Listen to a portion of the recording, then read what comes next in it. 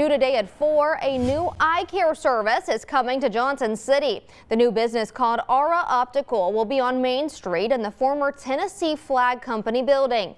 It will take up about 3,000 square feet, leaving 20,000 additional feet available for future development. Aura Optical will include a highly visible storefront that opens into a lobby and even a gallery. Owners John Kotowitz and Stephen Casey have been working in optometry together for more than a decade. The duo says they hope to open the doors in the spring of 2024.